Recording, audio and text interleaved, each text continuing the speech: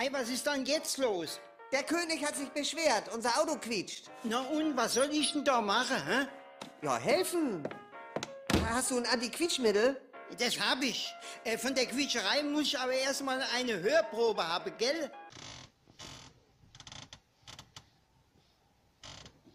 Könnte ich das Geräusch noch einmal hören, bitte?